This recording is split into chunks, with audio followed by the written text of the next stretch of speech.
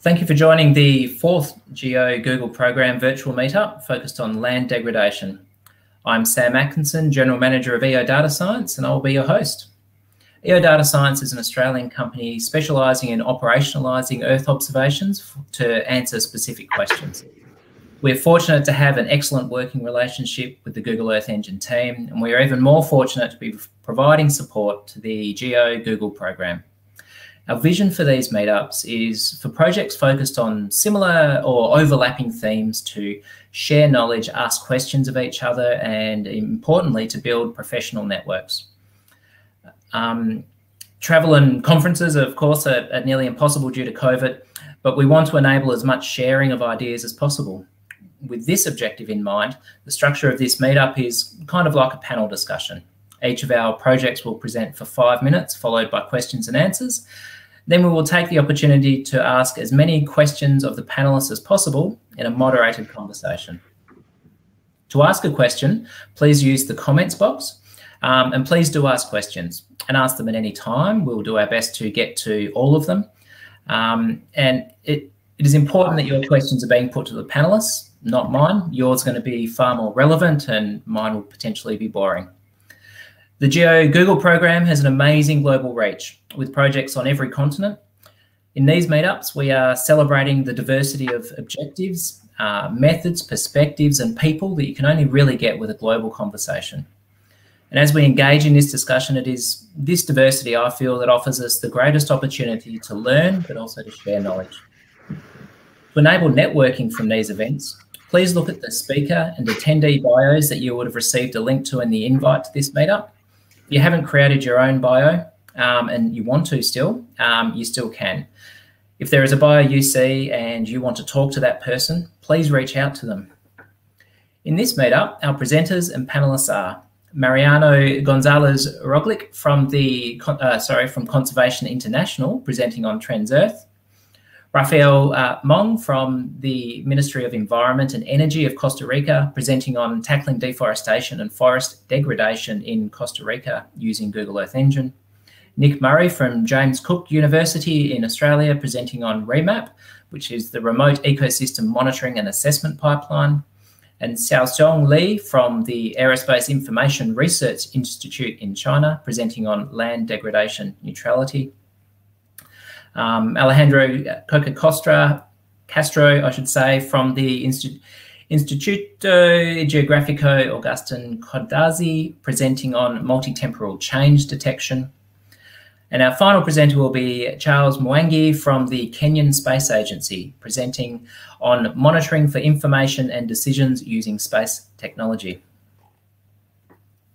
We're also pleased to have with us again um, Doug Cripe, who is the Senior Scientific Advisor at GEO, and Noel Gorelick, who is a Senior Software Engineer at Google and also the Google, one of the Google Earth Engine co-founders. Noel, would you like to say a few words from Google's perspective? Sure, thanks. Um, as Sam said, I'm Noel Gorelick, and I'm one of the founders of Google Earth Engine. Um, we here at Google are happy to provide the technical infrastructure for these projects and I'm here as an observer to see if there are any common issues or opportunities to improve the backend to try to help unblock any projects that might have scaling problems with the platform. With that said, I'm looking forward to learning more about the projects. Thank you. Thanks, Noel. Um, Doug, from the Group on Earth Observations, would you like to say a few words? Yes, thank you, Sam. Um, so I'm, uh, as Sam said, I'm Doug Cripe from the GEO Secretariat. Uh, and I just want to say a few words about the GEO uh, end of, of this program. Um, some of you are probably not familiar uh, with what GEO is about. So um, GEO is the Group on Earth Observations um, that represents a partnership of governments and organizations across the world that envisages a future where decisions and actions for the benefit of humankind are informed by coordinated, comprehensive, and sustained Earth observations. So the group on Earth observations, as the name suggests, is, is uh, concerned with opening up access uh, to Earth observations, whether that be from satellites or from in situ observations, marine observations, and so forth. So all platforms. Um, and the mission of GEO is to connect the demand for sound and timely environmental information with the supply of data and information about the Earth that's collected through observing systems that are made available by the GEO community. And so, uh, in, in so doing, GEO works to unlock the power of Earth observations by facilitating their accessibility and application to global decision making within and across many different domains. So uh, this program fits very nicely into this uh, objective uh, of GEO, and I'm looking forward to hearing how you're putting Earth observations to work. Thank you. Thanks, Doug. Glad to have you here with us again. Now on to the presentations. First, we have Mariano Gonzalez Roglich from the from Conservation International presenting on trends.earth. Over to you, Mariano. Hello, everybody. Thanks, Sam, for the introduction. And looking forward to to learning more about all these projects. Um, so what, what I'm going to be talking about today is briefly the the project that we we propose to do for for this program with uh, Google Earth Engine and Geo and EO data science, which is called Supporting Land Degradation Neutrality through Cloud Monitoring Platform Trends.earth uh, 2.0. So this project is building on the work that we at CI have been doing on, on Trends.earth, this platform for assessing land degradation, but with some new partners. So in this case, we're working, well, of course, with the UNCCD, but also with CSIRO, ESA, NASA, uh, as key partners of this project. Next slide, please. So, well, I, I think the, this slide for most of you is it's pretty obvious, but land degradation is, is, is an issue that it's of, of, global importance given that it affects a significant uh, portion of the land and it has impacts for local communities. Over a billion people are directly affected by land degradation. The estimates are even higher if you measure indirect uh, indirect affected people. And then you also have the impact for, for climate change the land degradation is a significant contributor to, to CO2 emissions. Um, next slide. So what we did with Trends.earth, Trends.earth is a tool that has been around for, well, it had a different name at first, but around four years. Uh, and what we decided to do was to support the, the UNCCD, the United Nations Convention to Combat Desertification, and uh, to uh, the signatory countries of the convention to do the assessments of land degradation for monitoring, for reporting, and more importantly, for planning how to address that. Um, land degradation is, is also one of the SDGs, Sustainable Development Goals 15.3.1. So by, by addressing this need, we were providing a solution to country members in two of their of their monitoring and, and reporting needs. So Trends.earth, in its current form, it's a free and open source tool for assessing land condition uh, we're using, we're following the framework of the Sustainable Development Goals. So there's three sub-indicators that users can assess uh, with this tool. It's changes in land cover, changes in primary productivity, in, in land productivity, and uh, changes in soil organic carbon. And with the tool, you, you can assess the baselines and then track progress. And what we did is in order to, to simplify um, access to, to data and, and to the methods, uh, we we provided in the tool global data sets, so uh, global land cover data sets, global primary productivity data sets, global soil organic carbon data sets, uh, and also all the methods to synthesize that into the indicators that need to be uh, reported on. Uh, so the tool comes with pre-populated with global data sets, but also there's a recognition, of course, that global data sets are not the solution to everything. So in many cases, countries or provinces have their own data, uh, and that will be much more suitable. So the, the, the workaround that we find for these was to make Trends.earth a QGIS plugin. Uh, so the user interacts with the tool uh, through QGIS, which is free and open source software. Um, but it, all the calculations are run when you're using global data sets in Google Earth Engine. So, so we made this this link between our tool and Google Earth Engine to make sure to, that we are able to use the amazing computing power that GE provides uh, to simplify the, these calculations. But at the same time, uh, allowing the flexibility of running the analysis locally. And in this way, uh, allow us to sort of overcome the issue of limited bandwidth in many areas, which we, we knew was an issue. So this model worked really well for the, for the first phase. Uh, next slide, please.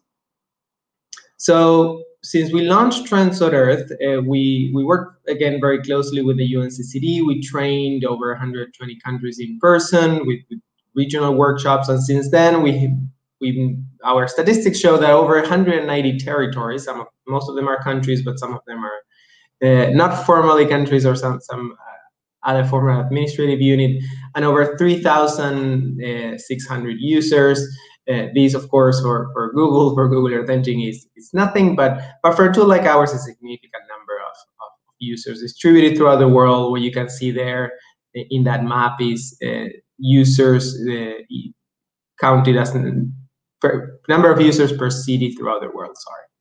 Um, and then in recognition of how, how useful Trends.earth has been to, to do these assessments, the Geo uh, SDG group provided us, gave us an award uh, last year, which has been a, a, great reward for us uh, from, from the group of Earth observations.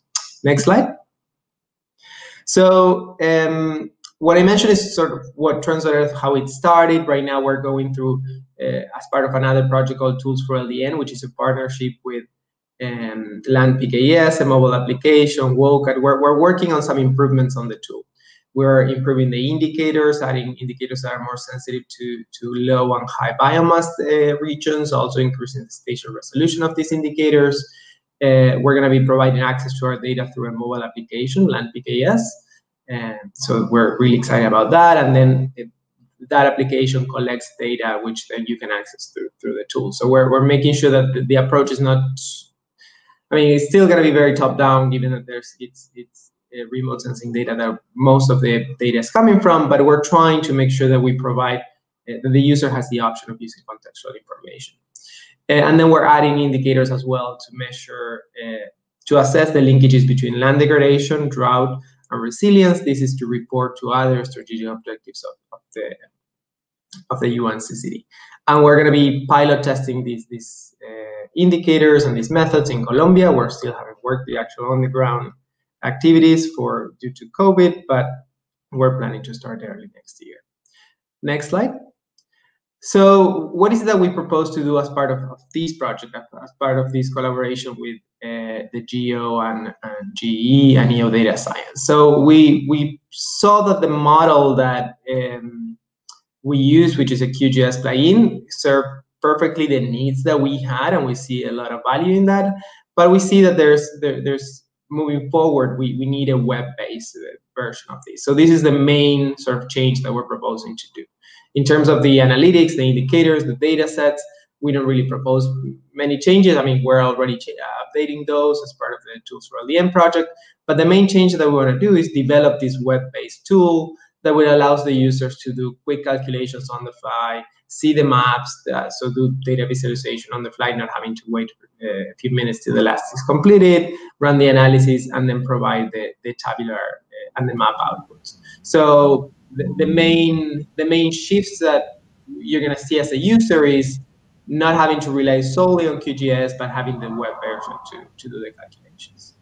Uh, next slide. And I think I'm, I'm, running out of time. I just wanted to mention the team. So of course, the Trends.earth team that it's uh, it's a key part of this. And then we have Jeff Masek from NASA, Mark Paganini from ESA, Sarah Minelli from the UNCCD, and Neil Sims from CSIRO Australia. Uh, next slide, and that's all I have.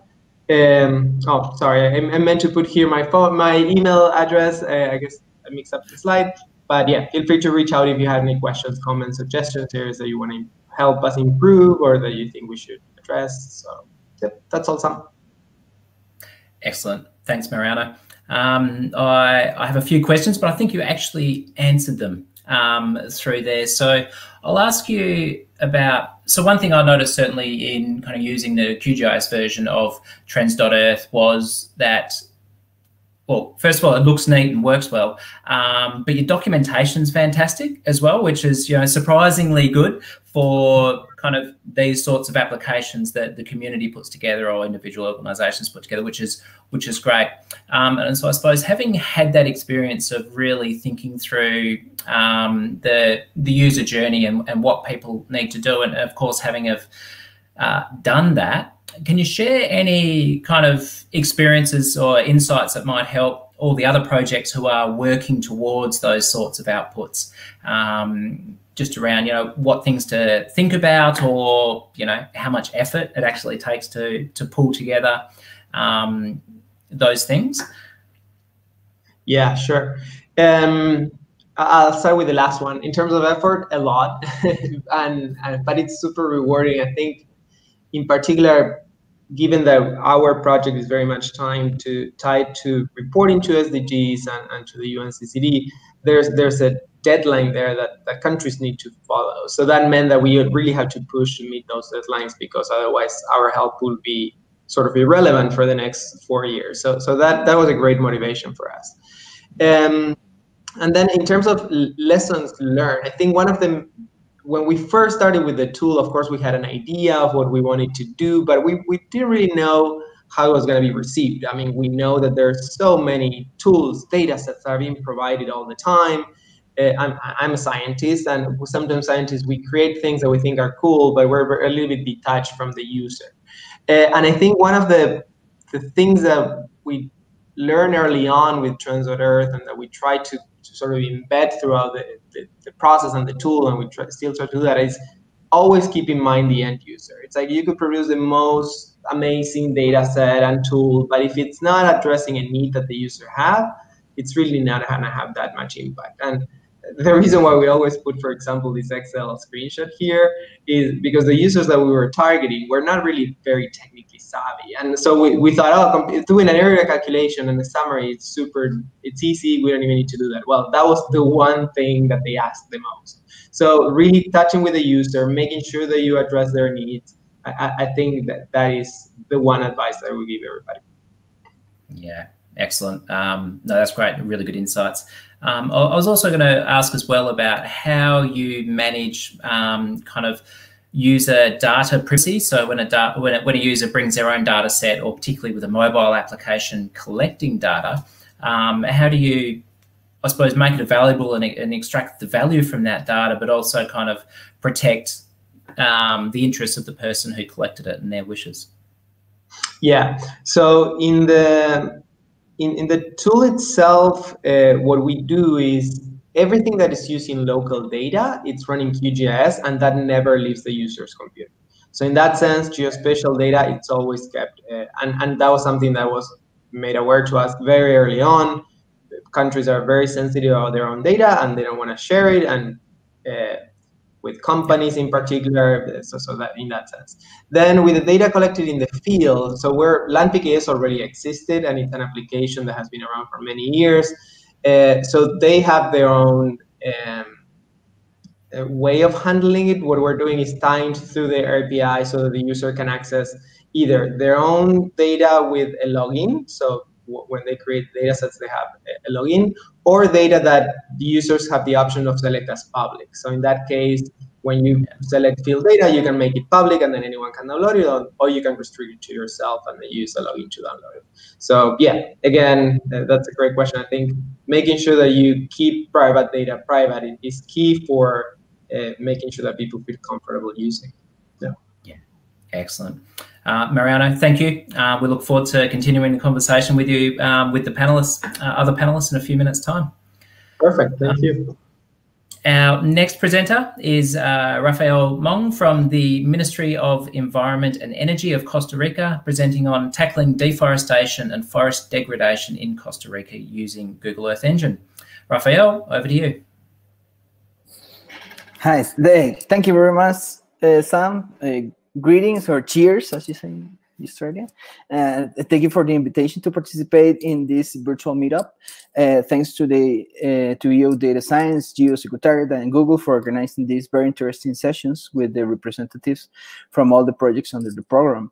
Uh, my name is Rafael Monge, and I am the director of the National Center of Geoenvironmental Information at the Ministry of Environment and Energy of Costa Rica.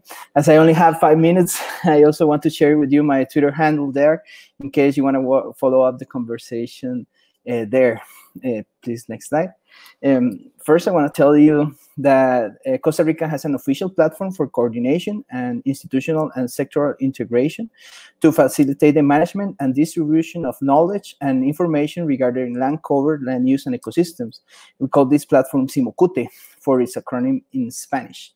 Uh, this system has been constructed in response to the need for a more comprehensive and integrated monitoring strategy, uh, which encompasses all lands and consists of several integrated subsystems that together produce consistent national scale information on the state of and changes in all land uses, land covers, and ecosystems.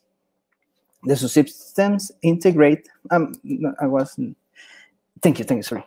Uh, the subsystems integrate field and remotely sensed data to provide comprehensive information across forests, agriculture, and, and other sectors that facilitate improved uh, land use decision making and provide uh, data for a variety of national and international initiatives and reporting requirements.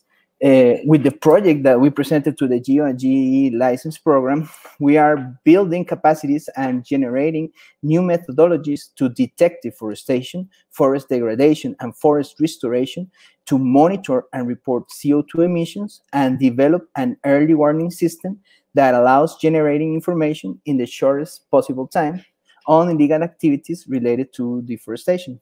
Ne next slide now. Uh, more than a dozen national and international organizations have joined this effort that is expected to deliver and share new knowledge about how to best use Earth observations to monitor forest dynamics in the tropics. Um, so far, all the work has been done remotely, taking advantage of the all the functionalities that uh, technology can provide. Uh, this is the list of, of the organizations that have already have been part of this process project, but we have a this an, an open list for uh, other organizations that may want to join us in this process nationally or internationally. Uh, next slide, please.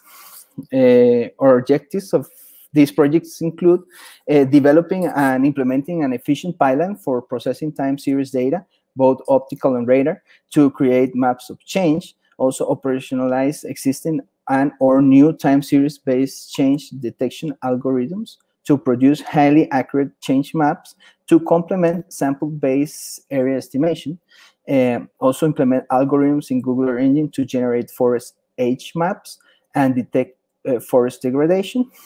And in other area of objectives, we're planning to create an early warning system to provide near real-time alerts of deforestation and also share the results with of these projects with other countries in the region that may have similar challenges. Next slide, please. We have integrated two working groups to achieve our goals. Uh, one related to the technical development, uh, who will be working with the project in the project outputs using GE, and the other one focused on institutional arrangements, who are developing the management model uh, of the early warning system, and also who will be designing and preparing the reports of this project. Next slide. Well, detecting deforestation and forest degradation and forest restoration in Costa Rica is quite complicated because it is relatively low and scattered all around the country. As shown in the graphs, we have reduced significantly uh, our deforestation rate and the area covered with uh, secondary forest has been increasing.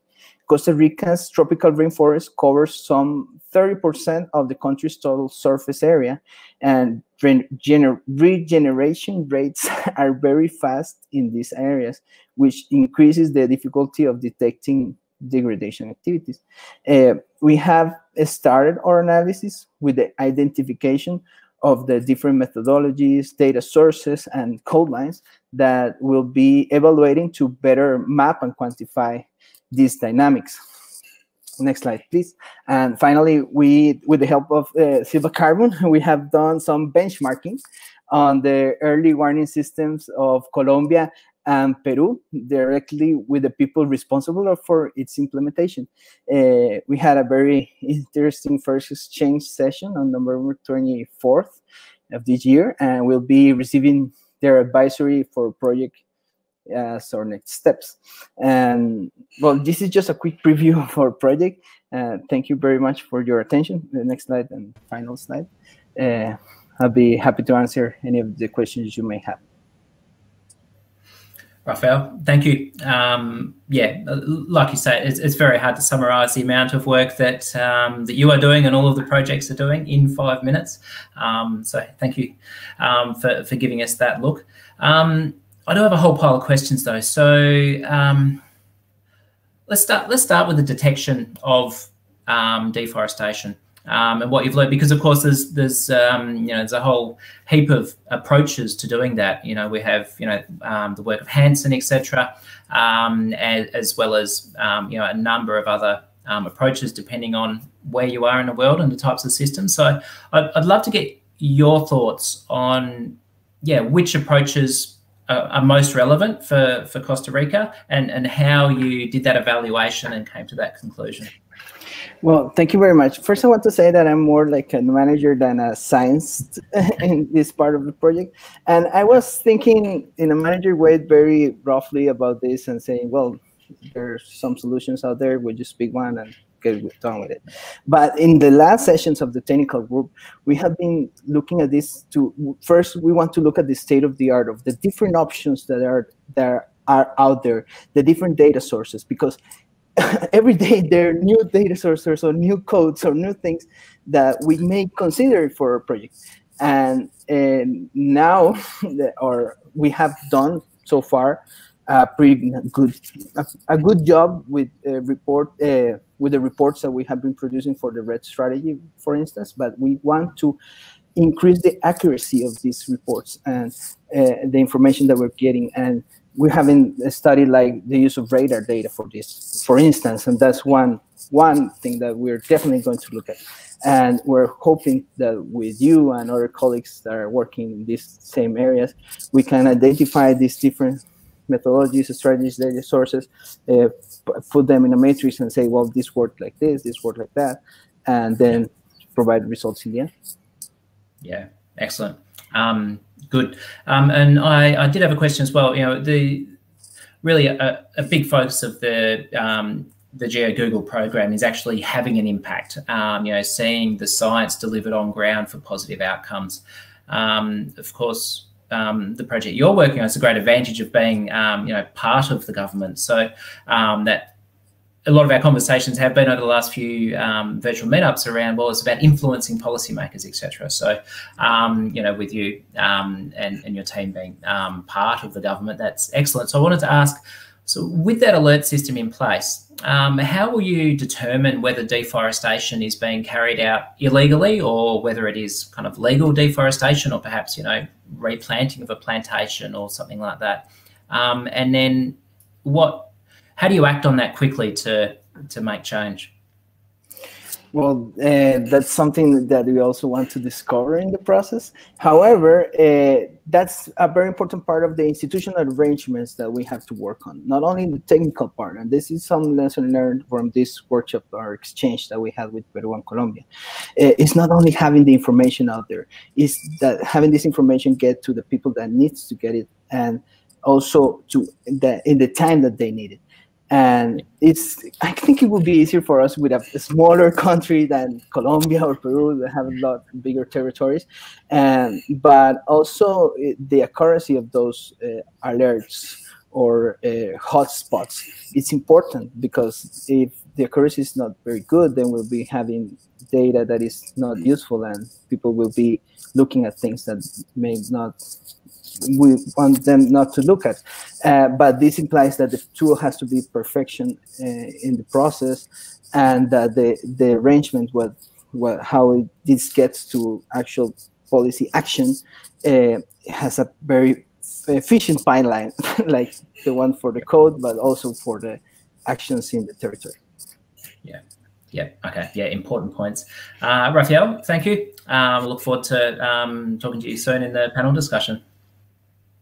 The next presenter is Nick Murray from James Cook University um, in Townsville, um, presenting on REMAP, which is Remote Ecosystem Monitoring and Assessment Pipeline. Nick, over to you. Uh, g'day, Sam. Thanks very much, and um, yeah, thanks for inviting me to present in this um, this forum. It's just such a great group of um, of projects, and I'm really delighted to be one of them. Um, today, I'm going to present about a, an app that we developed starting in about 2016 on, on Earth Engine. And um, the main purpose of this app is to really try to solve a problem that, that we were facing in the IUCN um, Red List of Ecosystems team of, of having to de develop reasonably similar maps all the way around the world um, for users and um, and end users that, that didn't have any any technical background background in remote sensing. Um, so click ahead. Thanks, Eva. yeah, so with this project, we were really aiming to make remote sensing accessible. Um, I'm part of a, a, global team of about 10 people implementing the IUCN's Red List of Ecosystems. And we found that frequently uh, no map data was a, a, major barrier to understanding the status of ecosystems all around the world. And often the sorts of maps that needed to be developed were using a really similar workflow and um, and could sort of be rolled into a single single pipeline of um, of data analysis to, to try to make remote sensing accessible to a really wide range of users.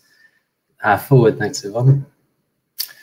So we developed Remap. Um, it's an online app uh, running in Earth Engine, running on Earth Engine, I guess. Um, and we tried to take out every single difficult step that um, that is the main barrier to, to remote sensing classifications for the sorts of user base that, that we deal with in the, the Red List of Ecosystems team.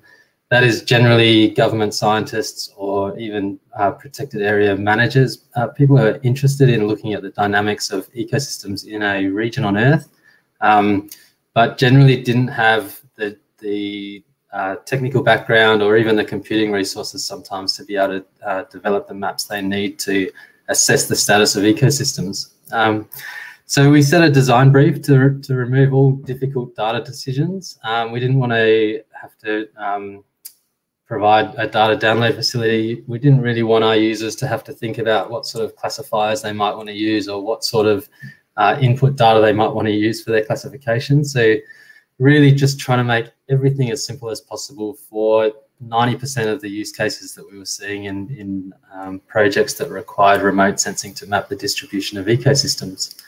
Uh, and overall, we thought that this sort of workflow should be able to be very quick these days. I mean, with Google Earth Engine uh, and the work that Noel and everyone has done over the last decade, uh, it's really taken out a, a, major component of any remote sensing project, which is data processing and, and, and really um, an, an, enormous time suck that really stops a lot of these projects before they could even start. Uh, next slide, please. So we set out to develop a, a classification workflow that was robust enough to be applied for a whole range of different land cover types. And, and these were generally ecosystems um, from wetlands to forest ecosystems to coastal ecosystems, you know. Um, and we've, we followed a um, a reasonably well proven supervised classification workflow, as I've shown here. Generally, we find that our user bases know what they want to classify. They can they can get on Google Earth or on a paper map and show exactly what they want to make a map of. Um, so having those users be able to provide training data to a supervised classifier uh, made a lot of sense to us. Uh, we included a range of um, cloud-free predictor layers for a, for a supervised classification. Um, but not too many. We wanted to, to get really quick quick results. Uh, so there's about 10 or 11 predictors in Remap and users can choose which ones they, they want to use. Uh, we apply random forest classification to it and very quickly return a, um, a result to the app screen. Uh, forward, thanks, Yvonne. So this is Remap. It's at it's at remap.org or remapapp.org. Um, you basically can enter the enter the site here, search for a place on Earth uh, in this case, this is the mangroves of Northern Australia. Um, and we set an, an, AOI, so it bounds to, to what the analysis can be implemented at. Um, next slide, please. Then the task, basically the main technical task that any user needs to do to be able to, to run a, a remote sensing classification with a random forest is to just provide training data. So in this case, there's a two-class map. This is mangrove or not mangrove. Uh, and we provide guidance on how many training observations are necessary for uh, different situations. Next slide, thanks.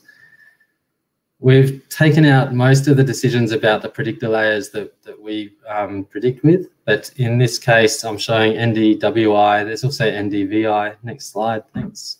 Uh, and a range of other sort of uh, widely used predictor layers developed from uh, a Landsat global uh, cloud-free composite. Next slide, thanks. Uh, and then, yeah, then we run we run a random forest classifier in Earth Engine and return the result to the user. Uh, and as you can see here, we've, we've reasonably successfully mapped the mangroves of this, this area, which is what most protected area managers might want to do around the world, I think, for, for a range of ecosystems that occur in their protected areas. Next slide, thanks. Uh, and one more.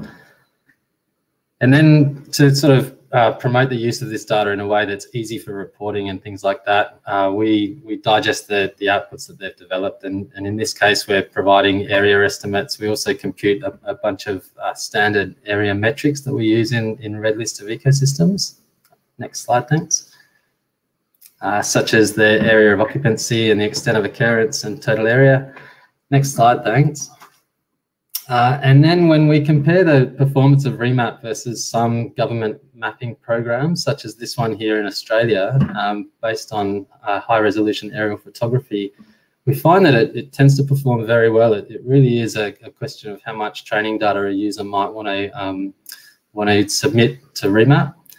Uh, and in this case, we've been able to map a, a four class um, map to the sorts of quality that are used uh, in, in um, compliance and regulations in Australia. Next slide, thanks.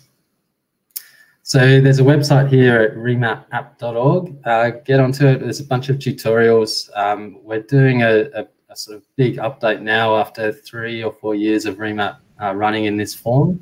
Um, but you can get on there now. You can you can watch tutorials and and find frequently asked questions to be able to develop these sorts of maps. Uh, and I'll leave it at that because I can see Sam on the side there. Thanks, Nick. Um, no, you're doing good for time, so I've, I've got a few questions for you. Um, do you get contacted by users who are, um, by users or have visibility over who is using Remap? Um, just curious to see who the user base is.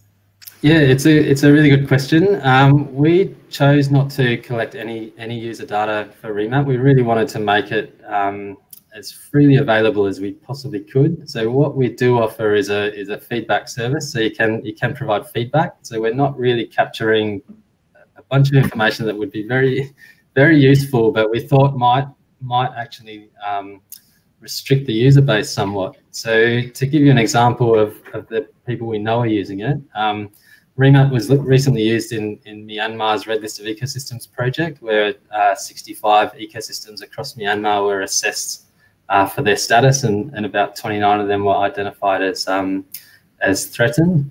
Uh, it's been used in uh, something like 160 countries, 25,000 users so far. We know how many are being used, but not exactly who they're who they who is using it. And indeed, one of the things we're trying to do with this geo program is to to solve that problem. Basically, um, introduce a, a, a sign-in system and and capture a bit more user data so that we can tweak remap in a way that we think it might be more useful but again, it was a it was a question of um, would would a protected area manager in um, in Cambodia be using this if they had to provide their email, and we we decided not to do that.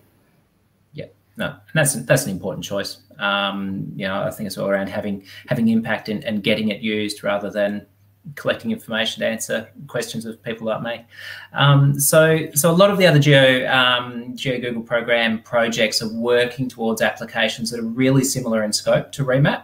Um, and I know you did this, you know, you did most of Remap a while ago now.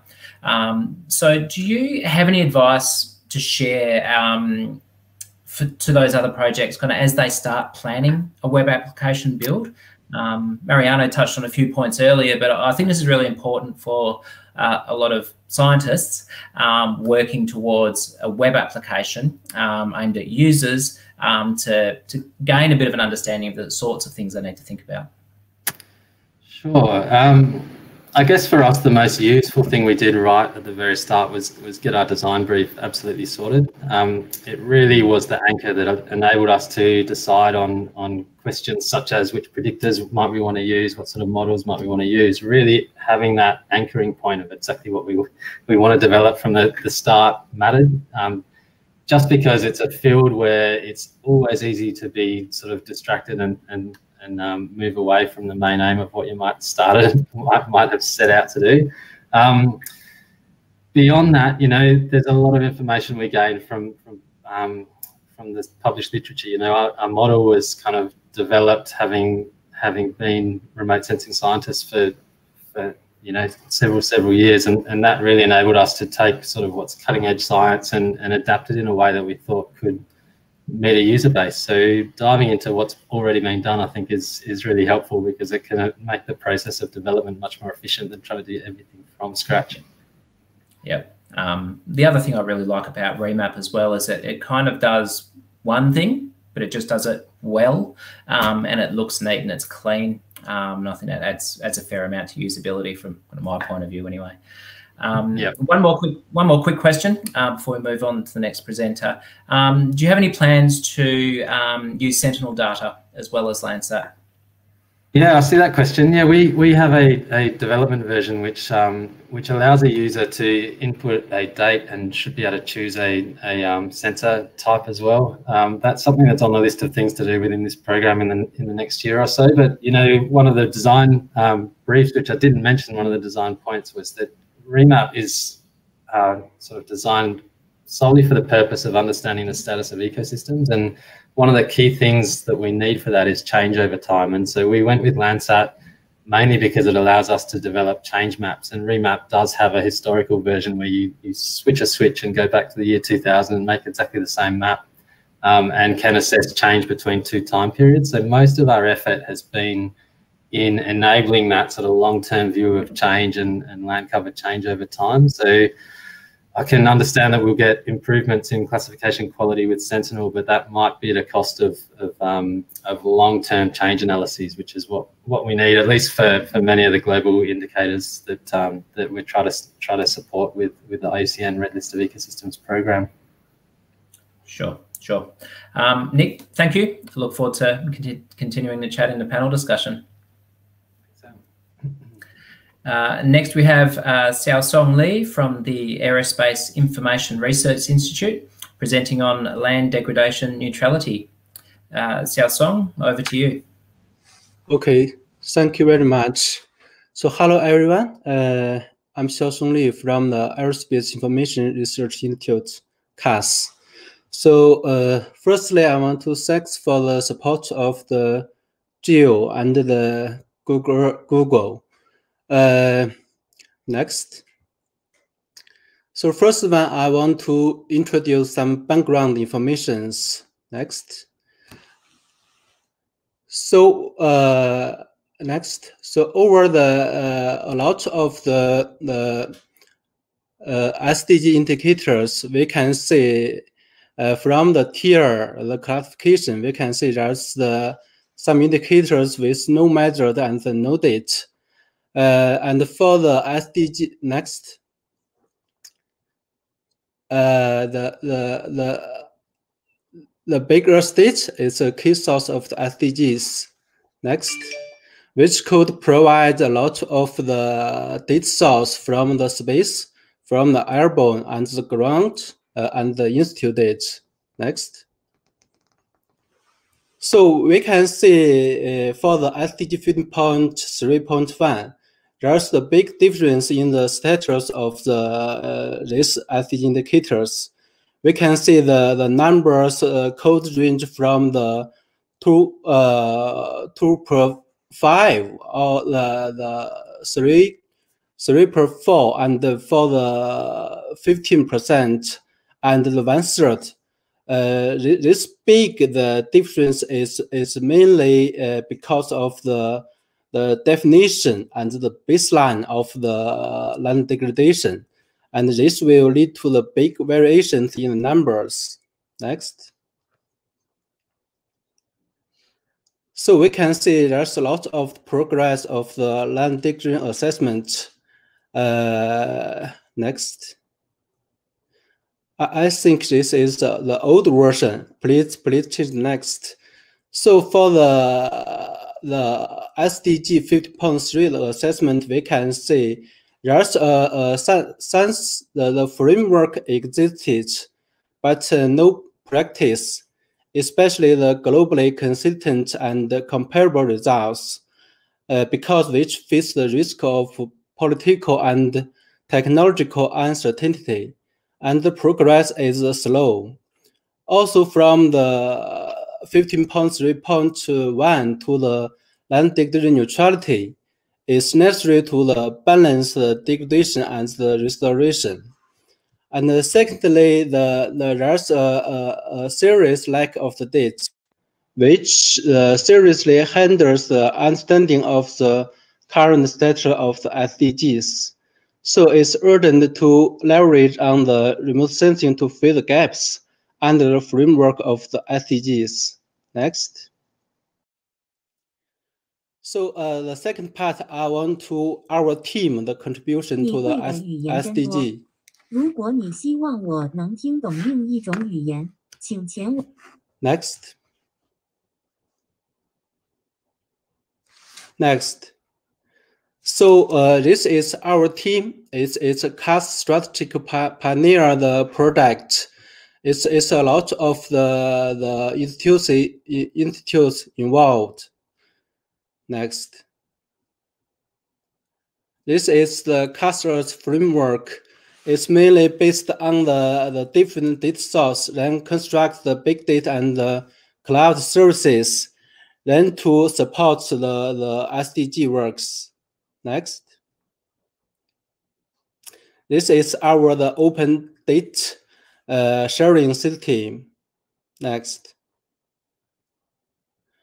So this slide shows how to we support the SDG indicators from the SDG 2 to SDG 15. Next. Also, this is the technology facilitation mechanism, and our chief scientist is one of the 10 members of this uh, mechanism. Next one. Okay, uh, so how, how to contribute to the SDG? We will uh, uh, focus on the data products, uh, the modeling method, and the decision support. This is how, how we want to contribute to the SDGs. Next. Also, our, our work on the uh, big data in support of the SDGs has been adopted by the Chinese government to submit to the UN Assembly each year. Next.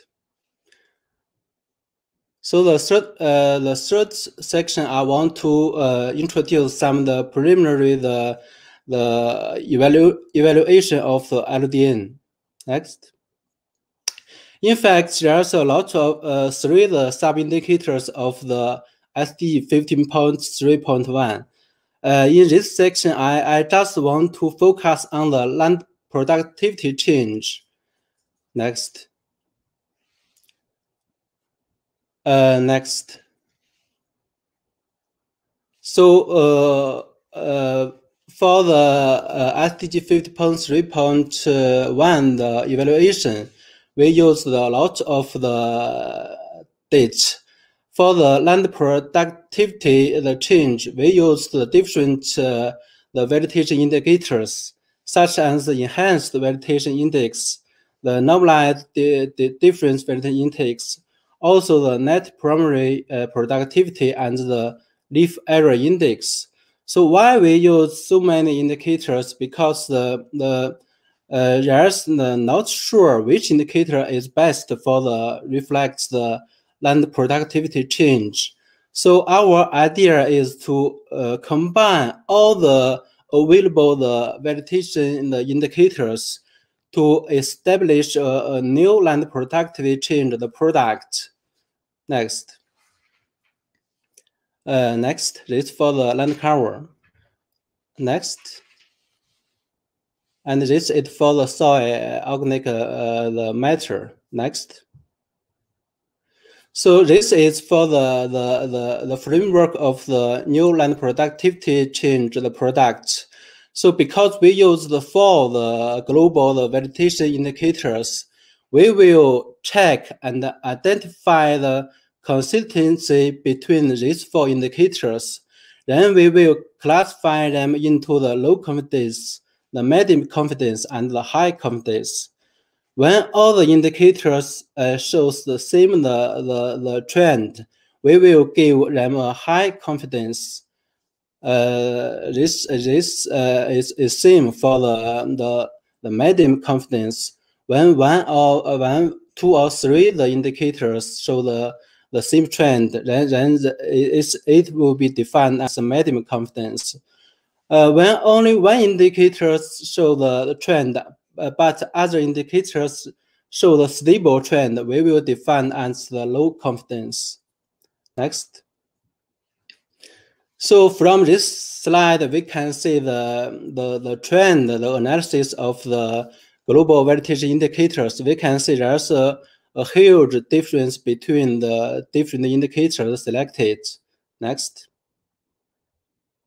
Yes, this is for the, the four indicators. So next.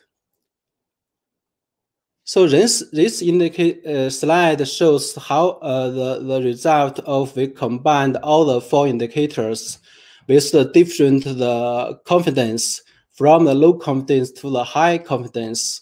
So if you want to uh, take the the most strict rules, you can select the high confidence the indicators, which means the the four indicators, all the four validation indicators show the same rules also we analyze the, the, the, the different performance in the different climate zones and in, into the different the land covers.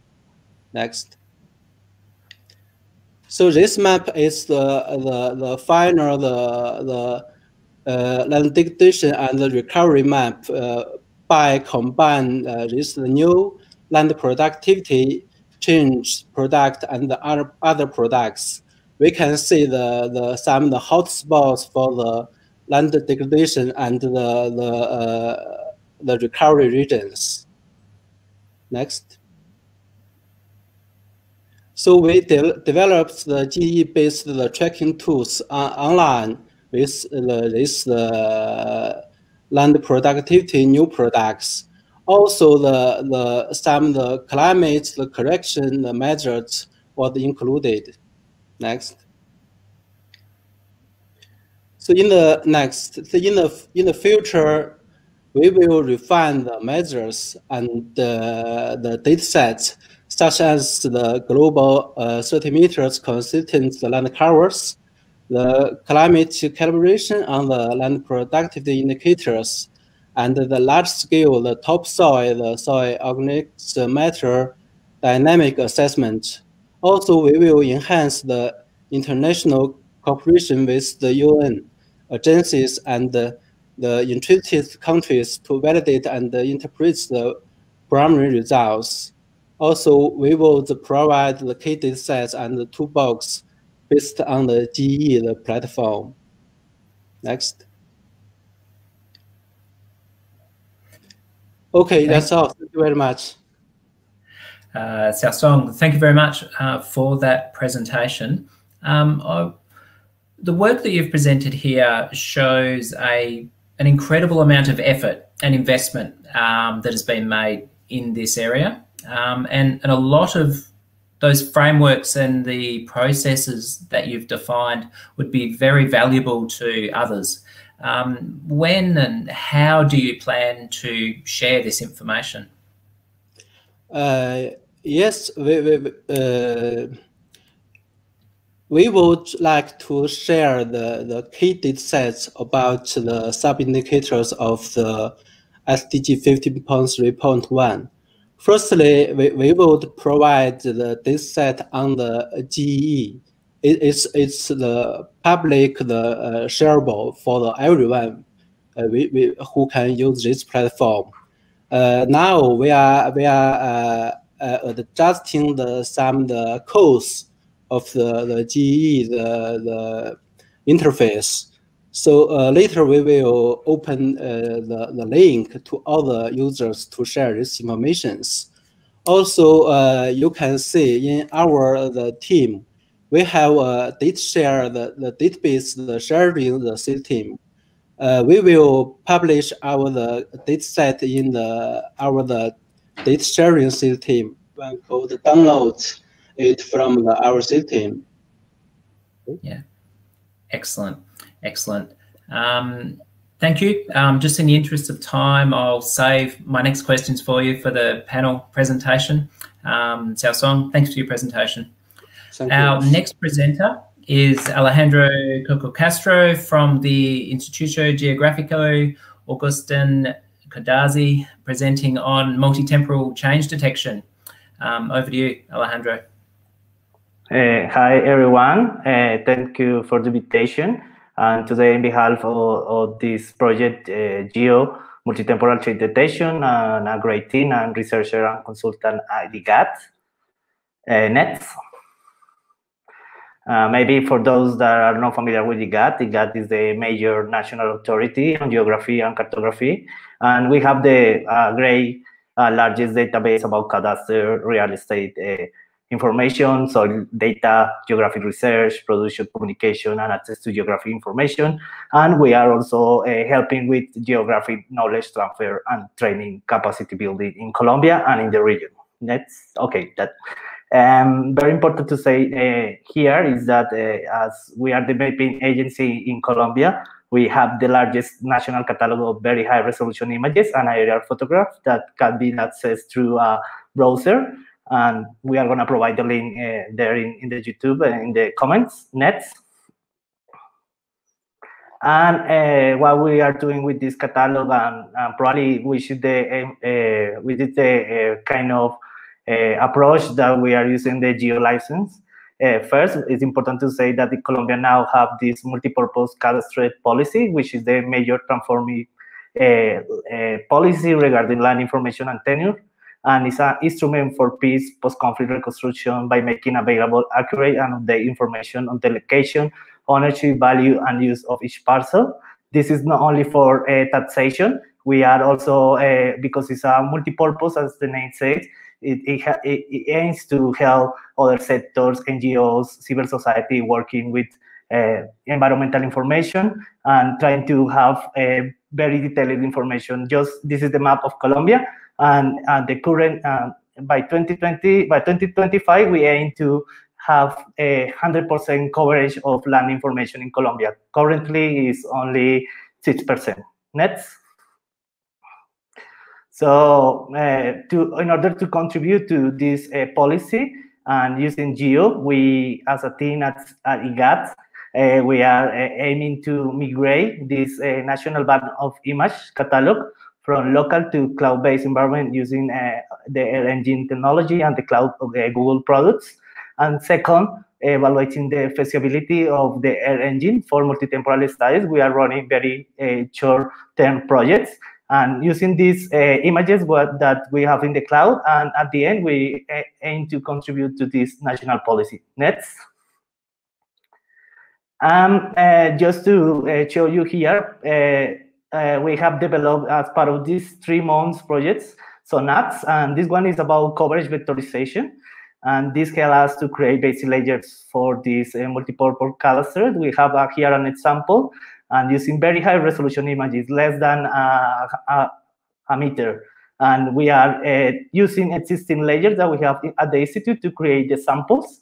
And here we are going to see this is one of the layers that we have at the institute, and we are uh, exploiting these layers to create new maps. And of course, users can, according to the image, uh, improve the results. And we have developed this kind of apps to accelerate the production of uh, some coverage like water bodies, forests, highways, roads that are essential for the policy.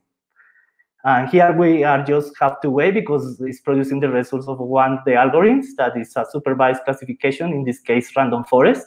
So as part of the layer that we produce, we have the, the raw data, then the post, post, post raster, and at the end we produce vector, vector layers that the users can upload in a GIS software. Next.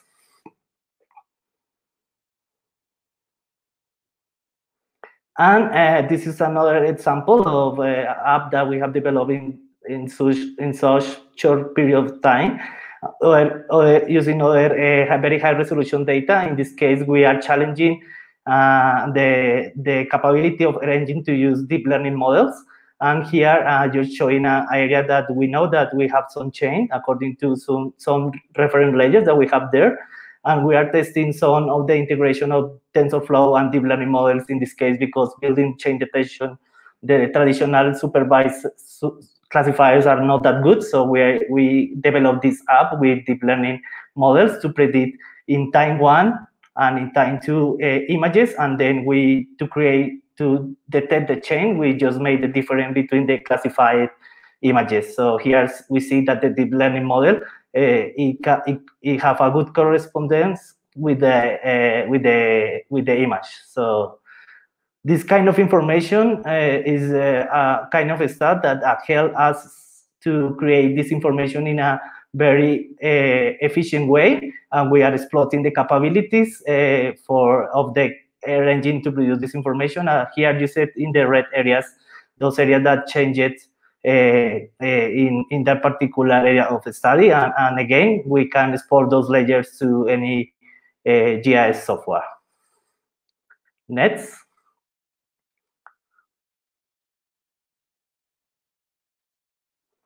And yes, that, that was a, a very quick intro of our project. As I say, uh, we have these uh, challenges and we have this policy of helping uh, for this multi-purpose cadastre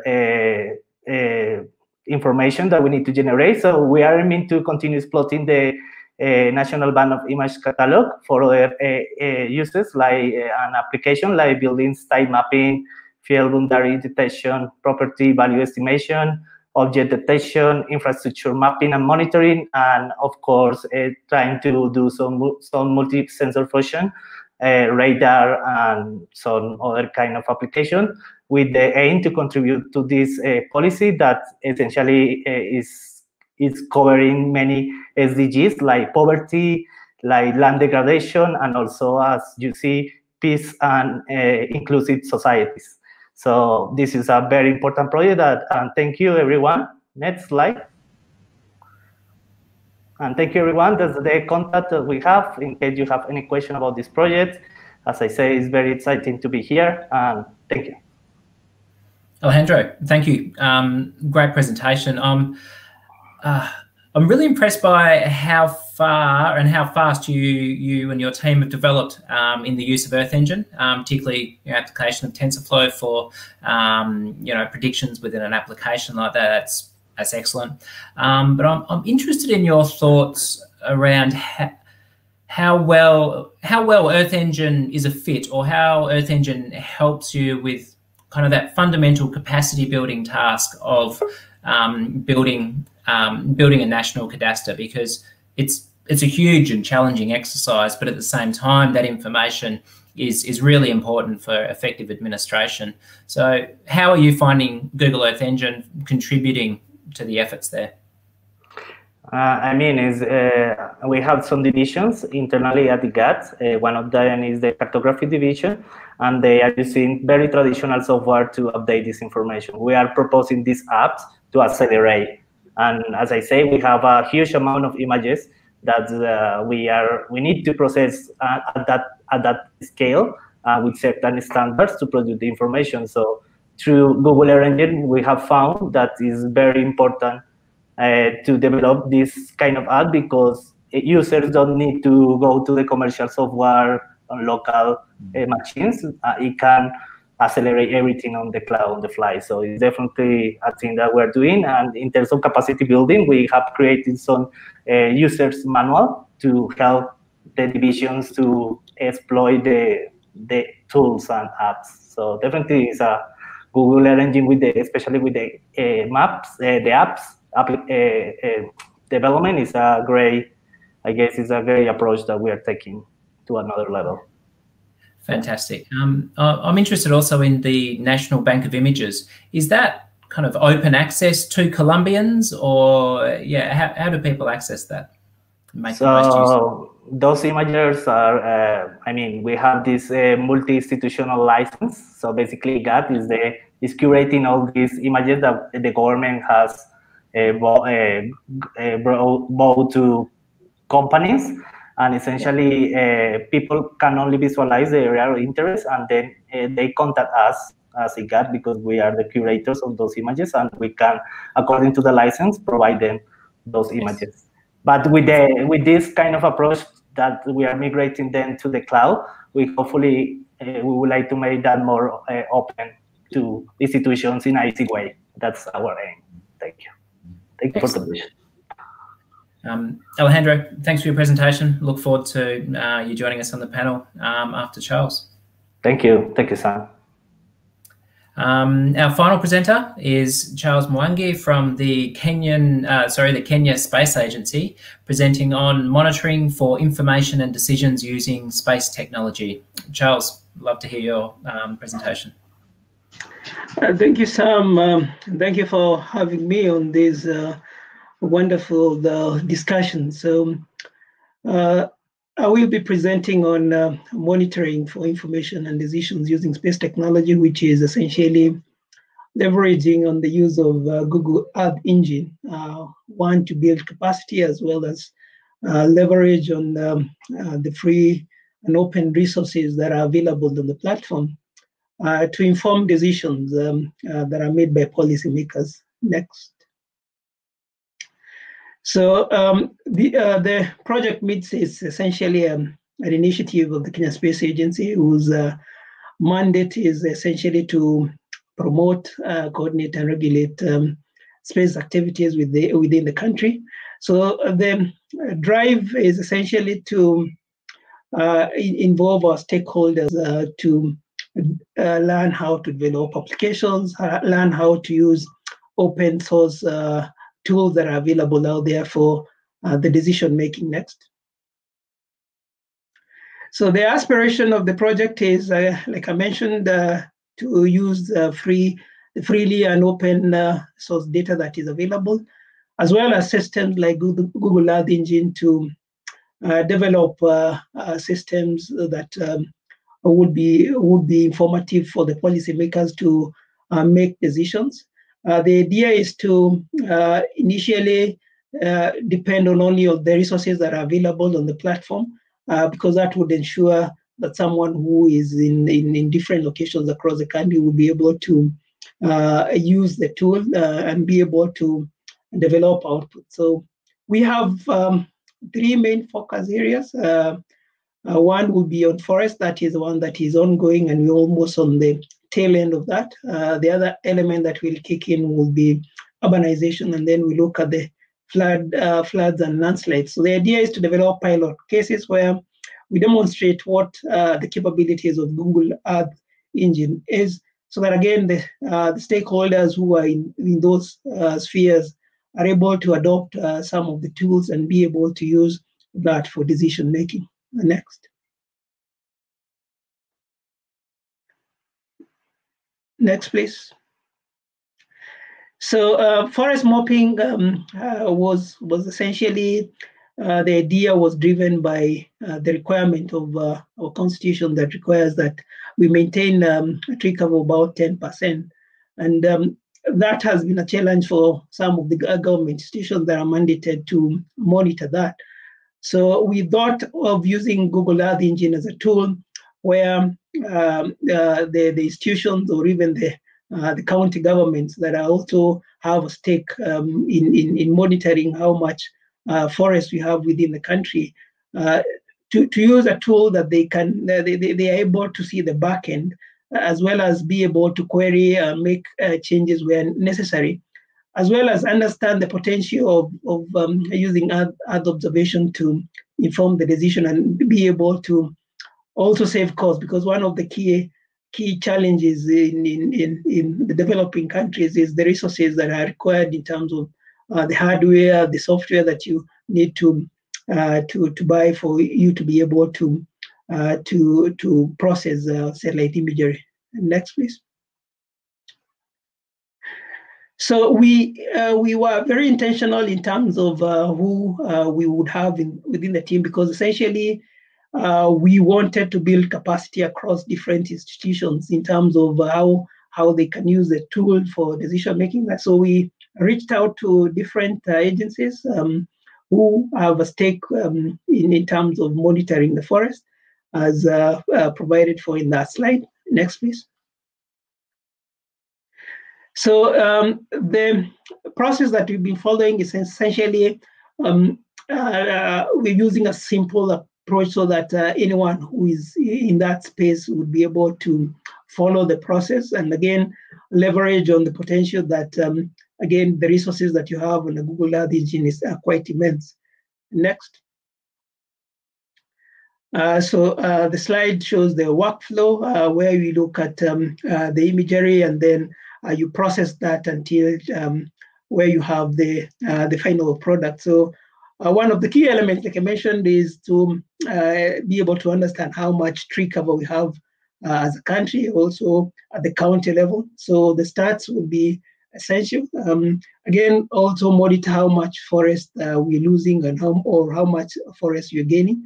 Again, we have different categories of the forest, um, uh, which again, uh, much of this um, has been informed by the by the needs of the stakeholders who are essentially working in this field. And then also do a time series where we are able to show how how the forest cover within the country has evolved over time. Next. So we've um, we we are um, exploring using two sources of data. We are working with Sentinel-2 uh, data, and then we're also working with Landsat uh, 8 data. And we have identified a region where, uh, which is called the Aberdare Forest, where we are pil piloting this uh, study.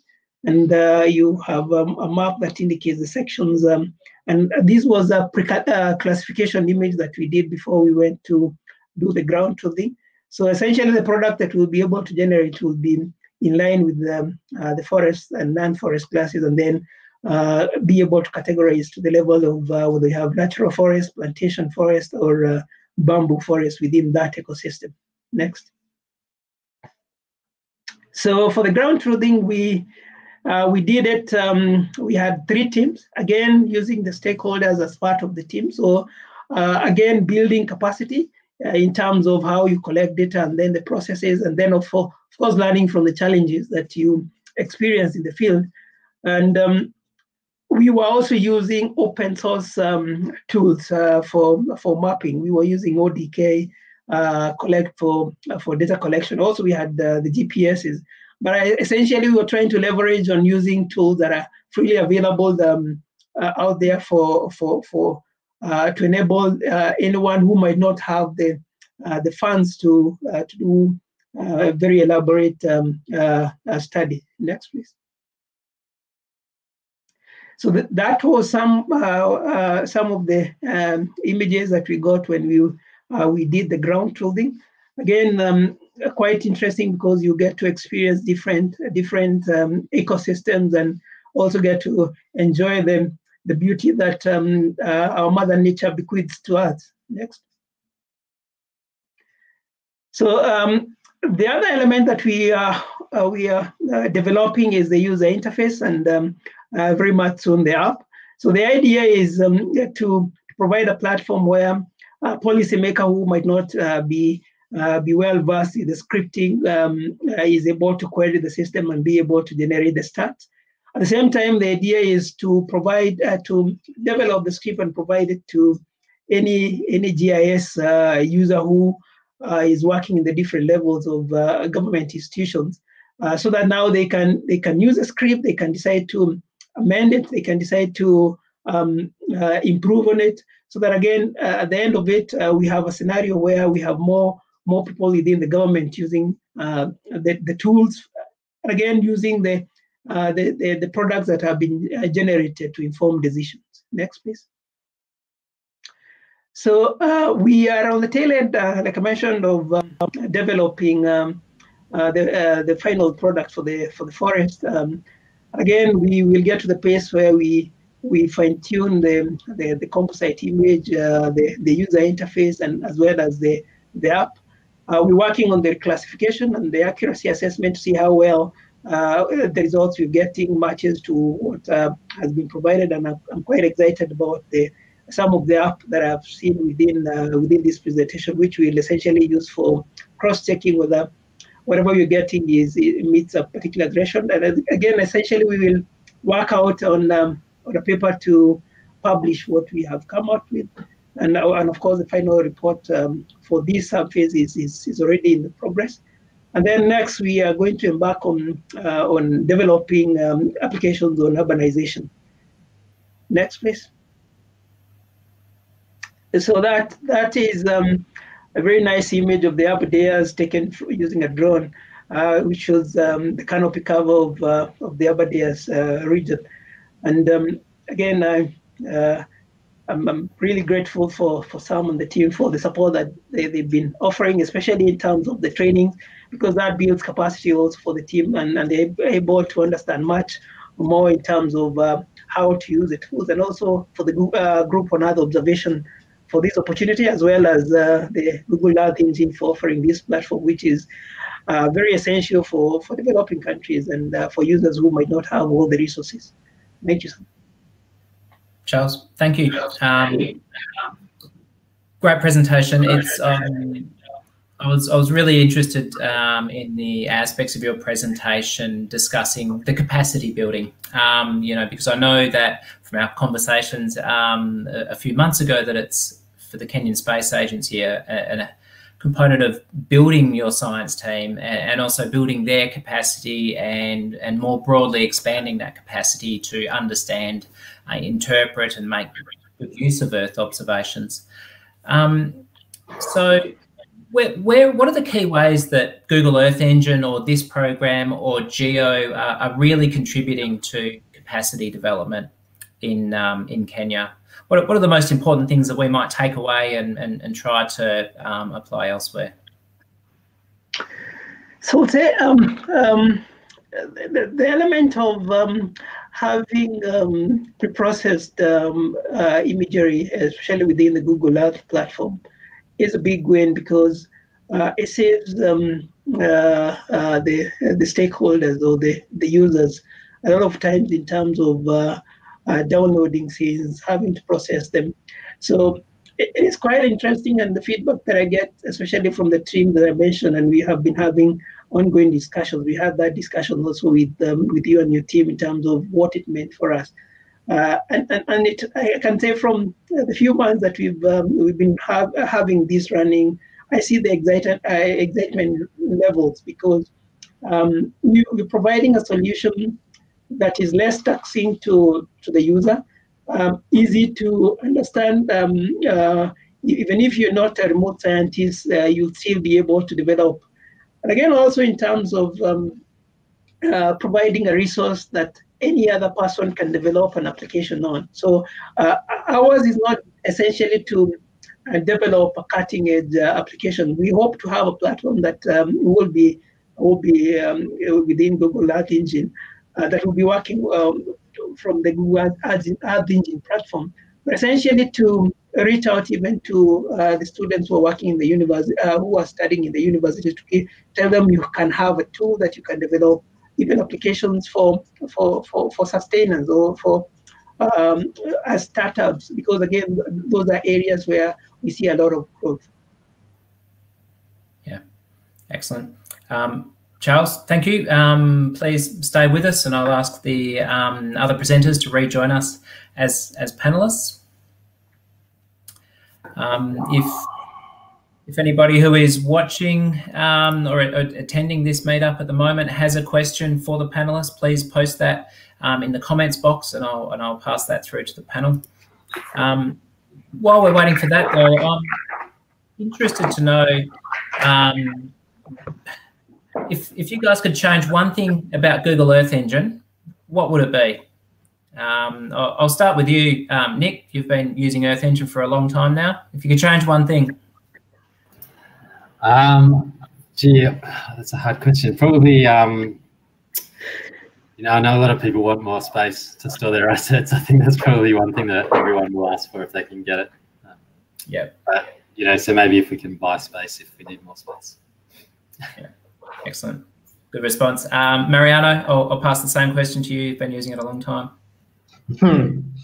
Um, one issue that we have found is sort of running multiple tasks. I mean, I, I, get we got we got ambitious with Google Earth Engine, and it raised the bar so much that we want even more. So sometimes we have to create several accounts in order to some run some analysis in parallel. So I guess having that option to expand the processing of some accounts could be a good one. Uh, but again, being overly Google Earth Engine changed the way that we work in such significant ways that it, it's a minor ask relative to the huge improvement. Yeah, excellent, great. Um, and and Doug, before we started today, uh, we were talking about um, soil carbon and and is anyone measuring it? Um, would you uh, like to ask your question of the panel around soil carbon? Yeah, I, I was um, unsure how many of you were directly um, looking at the assessment of the sub the third summit indicator under 15.3.1 on uh, soil organic carbon, which I think is the most difficult one to estimate um, correctly or, or with any degree of, of accuracy. Um, so I just was curious, um, you know, in your projects, if you're doing that, um, how satisfied are you with the results and and and what uh, kinds of data would you like to see that that you don't currently have to to get a better handle on that?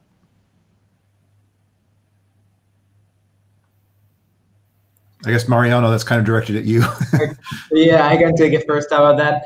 Uh, yeah, as you know, that what we're doing is we're using sort of the, the IPCC recommendation, the baseline one, which is using land cover to inform changes in soil organic carbon. But as, as you all know, that is not really measuring changes in soil organic carbon. So I think uh, any improvements in, in that, and, and, and organic carbon is tricky because even collecting the field data is challenging. You need time series, you need a good spatial resolution given that uh, spatial distribution given that soil uh, is so heterogeneous. So having ways to actually measure those changes instead of inferring them from changes in land covers would be a huge improvement for for for land degradation monitoring and in general for anything for agriculture, for restoration, for climate change mitigation. So yeah. Uh, Sam. Yes. Uh, maybe I have to say something. Uh, in our situation, we are also, because we have the largest soil information in Colombia, we have some partnership with FAO, FAO, and uh, for instance, uh, uh, we are not using Google Earth Engine for this purpose. Everything is in R, but uh, I found that Google Earth Engine have a large potential to probably to do more large scale analysis because every everything that we have produced the organic soil map in Colombia is in R. So definitely Google Earth Engine is the next step that we can think in the NSGR project. Thank you for the You're welcome. Um, actually, Alejandro, my next question was for you. Um, so what, in terms of achieving your objective, and I think it was to have um, the cadastre of Colombia complete by 2025. What do you see as the, the main barrier that you're going to need to overcome to achieve that objective? Yeah, probably I, I didn't have the time, enough time to explain everything, but this is multi-institutional effort. It's not just IGAC. So we have different, I mean, uh, components, not just physical components to measure. Also, there are like uh, economical components that we have to develop. So there are many challenges, challenges because it's multi-institutional. So in terms of technologies, we have this great offer of Google Earth Engine tools, but we also need to think about uh, in situ uh, methodologies and collaborative technology like citizen science. So there are many challenges, and I guess it's a very short period of time, but we hope that all this integration of different approaches can help us to to do this 100% land information in Colombia. And I think that land planning is a very important step to do these land degradation studies. If you don't have a very good land planning, of course, you will have problem with land degradation. So this policy aims to help to this uh, SDG goal of uh, land degradation. Yeah. Yeah. Um, Excellent. Um, and Doug, I'd like to throw the next question for you to for you to ask if you'd like to. I'm happy for this to be a conversation. Yeah, sure. No, um, I, I just was intrigued by something that George said towards the end of his presentation, and that was how important it was uh, to have these pre-processed data sets on Google Earth Engine. So you know another way another way that we call those are analysis ready data sets you know um, and CEOS the committee on earth observation satellites is producing um, a steady stream of analysis ready data for land um, land surface um, but CEOS is also discussing producing other types of ARD and I was just kind of curious in your projects are there other types of analysis ready data you know like i don't know sea surface temperature or something along those lines that would be useful for you?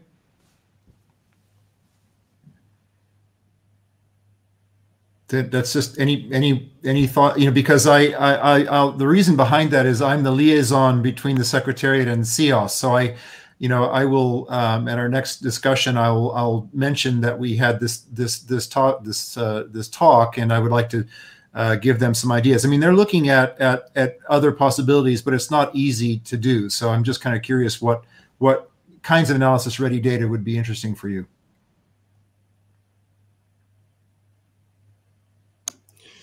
Well, uh, I think for the the other the ready used dates, I think maybe the the updates the land cover date or the some of the semantic the data sets will be important for the uh, the, the the research on the land. I think so.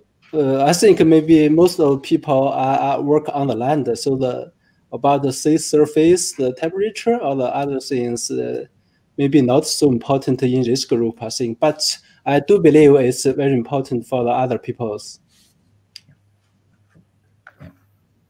Um, excellent. Um, Xiaosong, did you, I saw you raise your hand before, did you have another uh, question to ask or, uh, or comment to make?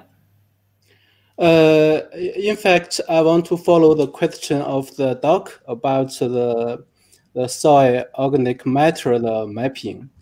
Uh, in fact, uh, uh, in our project, we designed the, the SOM, the mapping for the arid land, because we think for these regions, the, the vegetation is not so much.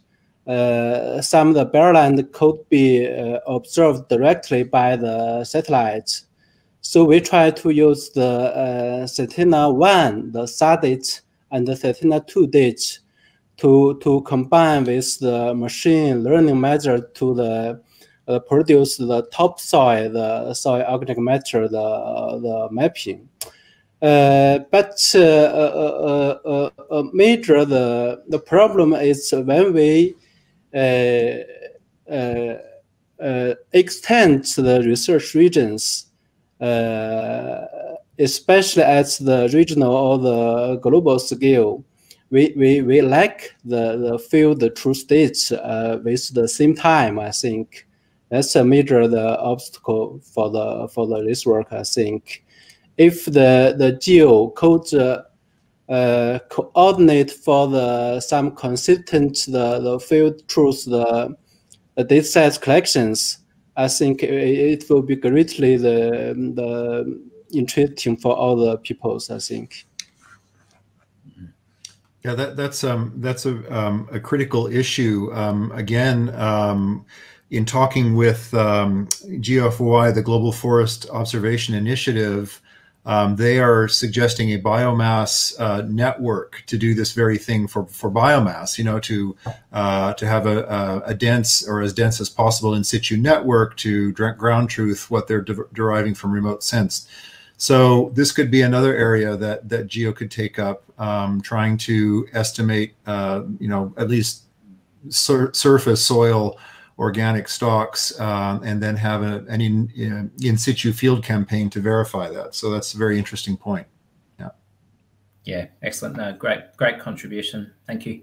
Um, well, just looking at the time, um, I think that's going to have to be our last question for today, this evening. Um, so firstly, I'd like to thank everybody who has presented and also Noel and Doug. Um, really appreciate um, you giving the time to talk about your projects, to share your experiences. Um, and I hope that you can all benefit. Um, and now that you've all met those that you hadn't, those of you who hadn't already met, um, I hope those connections enable you to continue sharing ideas and um, yeah, continuing the conversation. So the recording for this meetup will be made public on YouTube soon. Um, look out for the link in your inboxes um, and also on social media. Um, and I definitely encourage you to share that with your colleagues or share it via your social media networks or other networks. Feel free. Um, and finally, for all the attendees and everybody who's watching this video at a more convenient time um, time zone, um, thank you for, for watching. we've got two more virtual, uh, sorry, we've got one more virtual meetup that you're welcome to join as well. Um, that will be um, in about 23 hours time and our focus um, then will be on agriculture and poverty alleviation. Um, we hope you can all join us then. Thank you.